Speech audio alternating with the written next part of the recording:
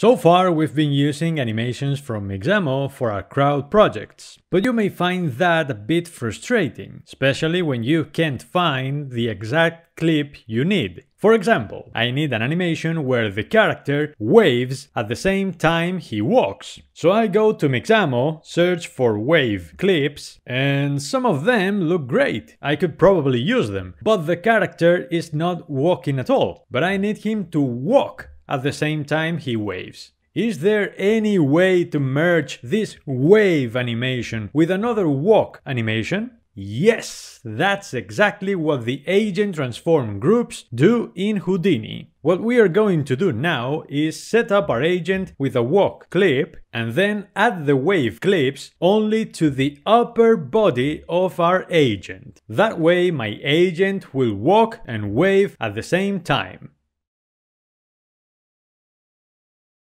Okay, so here I have my agent with all the clips I need. I have a walk clip and a couple of wave clips, one waving with both hands and the other with only one hand. I've also put an agent clip properties node to prevent my wave clips from playing on loop, so my agents won't be waving again and again. Go back to the agent clip Turn off the clip preview so the agent remains in the T-pose. And let's create now an agent transform group node.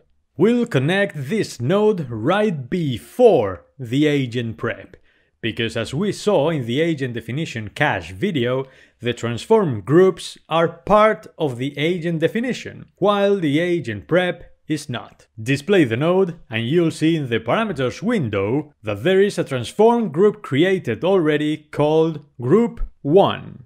Awesome, now in the root transform I have to choose which part of my agent's body I want to include in this transform group.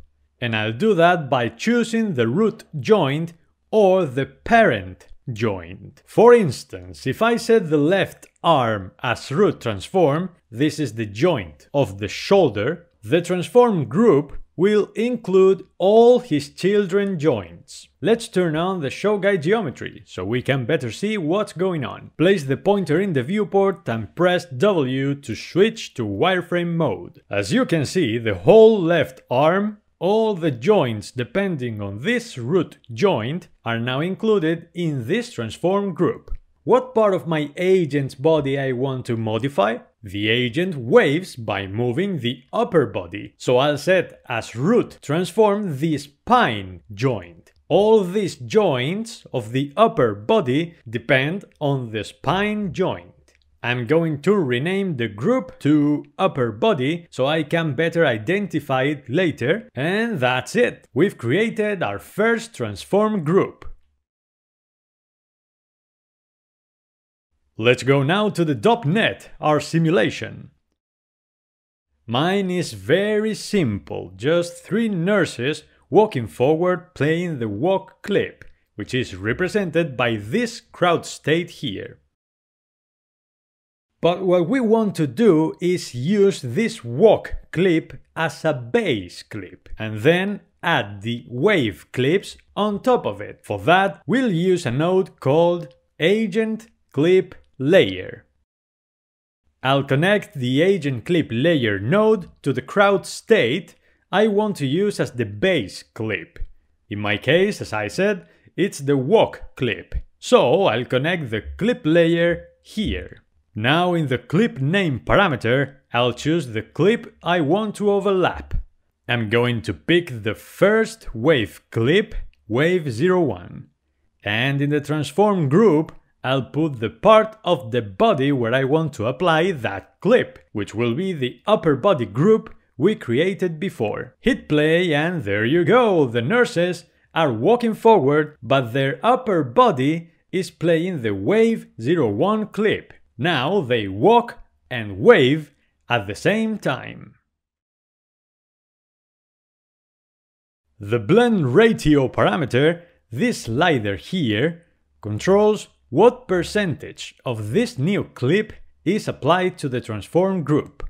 If we leave it as 1, the transform group, the upper part of my agent's body will play the wave clip at 100%. If we set it to 0, the transform group will not play the wave clip at all.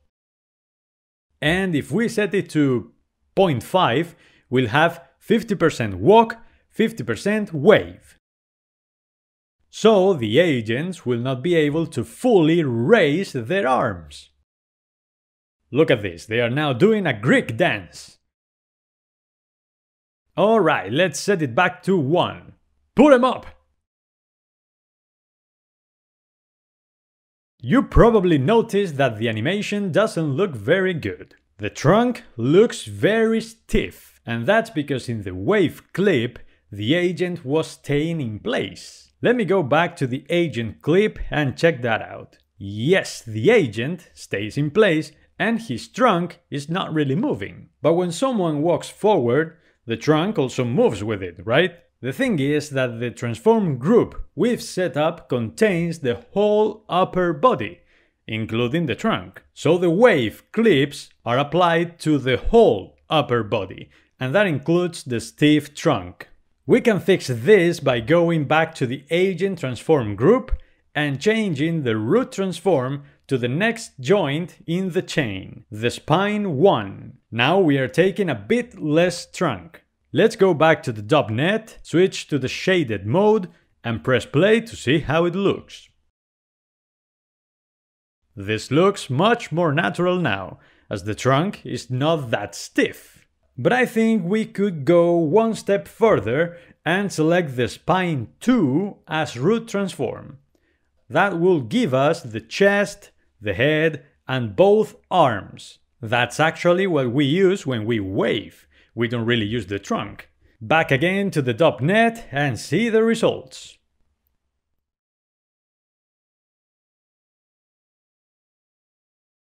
Awesome!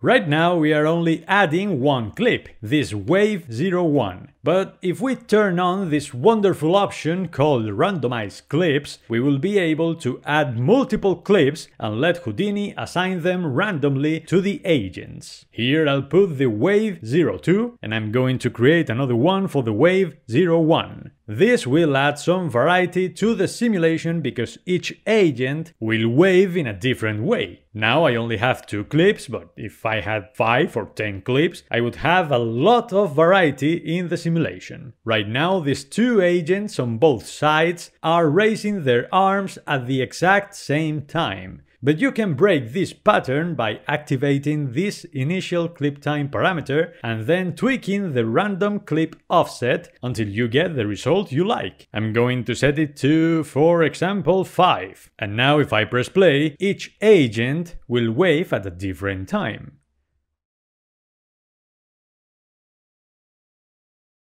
We can configure these clip layers, these overlapped clips, so they are played only when a certain condition is met, by using the same crowd triggers we used for the transitions. Let's create a crowd trigger node and connect it to any of these three inputs in the agent clip layer. Now in the agent clip layer node, let's turn on this box activate with trigger and here we'll choose which input of these three we want to use. I've connected my trigger to the first input, so I leave it as first trigger input. I'm going to set up the crowd trigger by time, and I want the trigger to be activated on frame 48, with a random offset of about 10 frames. Great, let's run the simulation, and if all is working fine, our agents should be playing those wave clips around frame 48. Let me play the simulation again. Yes, around frame 48, my agents raise their arms and wave. Thanks to this random offset of 10 frames in the crowd trigger node, my agents are waving at different times, and that makes my simulation look much more organic and natural.